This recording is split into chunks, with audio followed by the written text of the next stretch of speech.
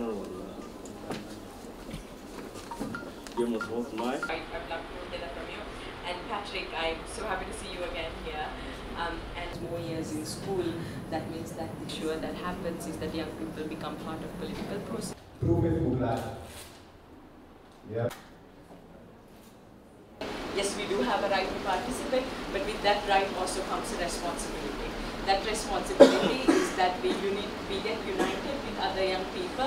um, and that we push for common themes and common solutions uh, together as a generation and try to do that in partnership with all the generations.